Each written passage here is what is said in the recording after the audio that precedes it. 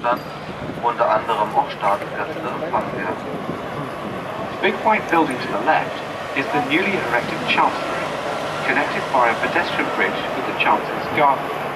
It was officially opened in May 2001. The Chancellery is a 36 metre or 118 feet high building housing the Chancellor's personal office, offices of the Ministers of State, the Cabinet Room and conference rooms. This is at the western end of the Band des Bundes.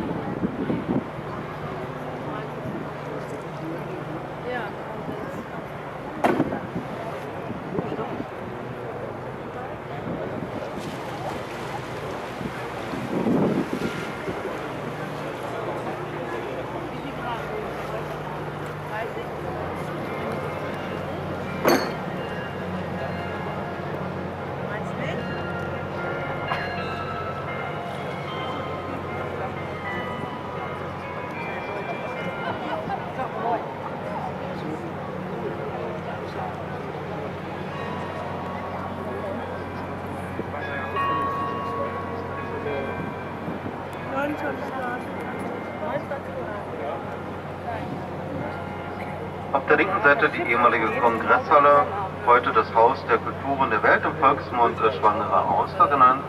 Es präsentiert außereuropäische Kulturen in Berlin. Die damalige Kongresshalle war der Beitrag der USA zur internationalen Bauausstellung des Jahres 1957 und wurde der Stadt Berlin geschenkt. Die Dachkonstruktion ist nur auf zwei Punkten gelagert und war zur damaligen Zeit eine architektonische Sensation. On the left is the old Congress Hall, or the House of World Culture. It is a showcase for artistic exhibitions and performance by non-European cultures. The former Congress Hall was the American contribution to the International Building Exhibition in 1957 and was a present